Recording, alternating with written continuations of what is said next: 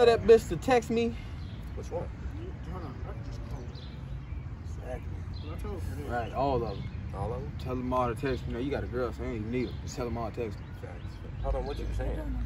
You don't even need them. I mean, you, but I, I still got that in my bag though, right? I mean, you got that in your bag. That's why you can give them to me. Because you got that like that.